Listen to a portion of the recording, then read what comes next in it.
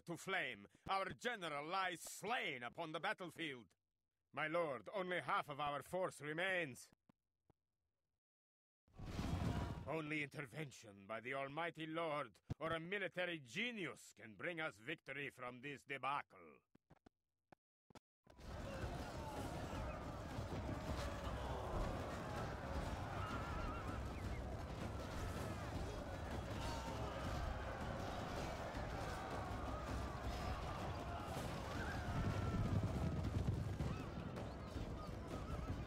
The enemy are badly blooded. They have lost half their men.